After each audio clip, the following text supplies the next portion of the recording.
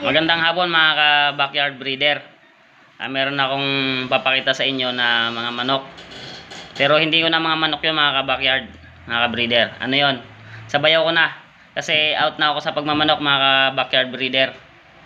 Ah, naglipat kasi ako ng bahay. Lumipat ako ng pwesto. Um, out na ako sa pagmamanok. Pero ang pero patuloy pa rin tayo sa pagbablog at ah, sana suportahan niyo pa rin ako mga ka-backyard breeder. Kung mapapansin nyo, medyo matagal na ako hindi nakapag-upload kasi inayos ko muna yung bahay namin. Ah, yung paglilipat. Doon kasi sa dati kong pwesto, medyo masikip doon mga ka-backyard breeder. Dito sa pwesto kong nalipatan, ah, maganda ang pwesto rito. Malaki yung bahay.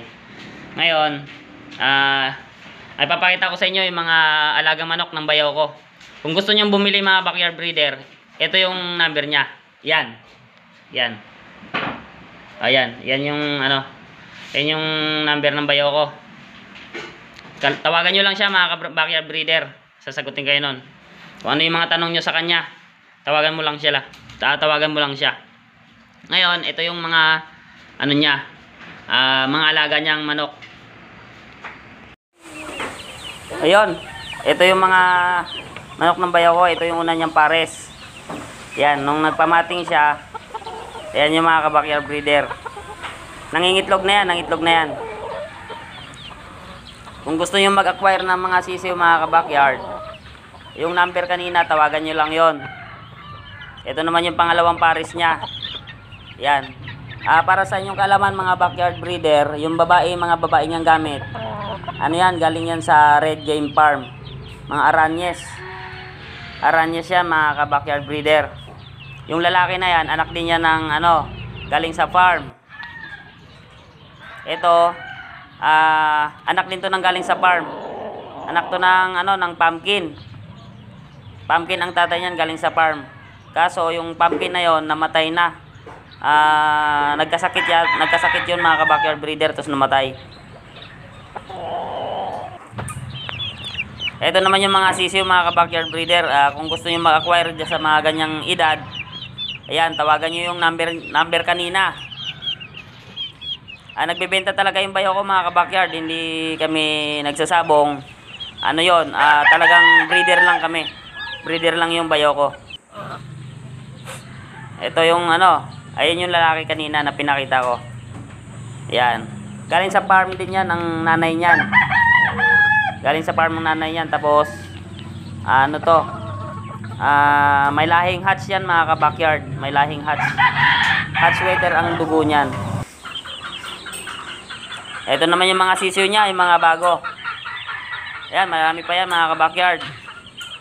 Actually, meron pa siyang pinapapisa ngayon na 50 pirasong itlog. Kung gusto niyo mag-acquire sa kanya, wag na ah, wag na po kayo mag-comment. O, pwede rin kayo mag-comment, pero mas mainam tawagan niyo lang siya. Ayan, mga backyard, oh. Basta marami siyang batch na sisiw.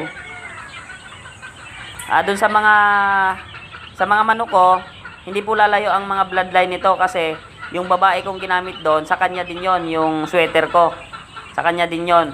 Mas maganda pa nga mga babae na ito kasi galing sa sa Aranyes line. Ah, Red Game Farm. Ito, itong mga malalaki na to, Aranyes na yan mga ka-breeder. Aranyes na li- line yan. Ang nanay yan, mga Aranyes na. Ito, yan, mga Aranyes na yan. Mga lahing Aranyes na yan, mga ka-backyard. Lahing Aranyes na yan, mga ka-backyard breeder. Ayun, siyempre. Ah, pakisuportahan yung channel. Ayun, ah, maraming salamat sa panonood mga ka-backyard breeder. Sana suportahan nyo pa rin ako. Hindi pa ako napag-vlog dun sa ano, sa Bukawi. Nung Friday hindi ako napag-vlog kasi masyado talaga akong busy mga ka-backyard breeder. Tapos nasabay pa tong ano, palarong basketball. May larong basketball kasi ako, ah, naglalaro kasi ako ng basketball mga ka-backyard breeder kaya ano, ah, nasabay yung pagbablog ko. Ang ang basketball doon yung mapapanood sa isa kong channel. Ito yung channel niya mga ka-backyard breeder. Yan. Yan, ah suportahan niyo rin po ako doon mga ka-backyard breeder. Sa lahat ng mga sumusuporta sa akin dito sa backyard breeders, mga solid backyard breeder diyan, pakisuportahan po ang aking channel, RM Science Vlog. RM Science Vlog, Ah, marami po akong vlog diyan, iba-iba. Diyan niyo po makikita ang aking basketball. Yan. Maraming salamat po sa inyong panonood. Siyempre, ingat tayo palagi. God bless us all. Bye.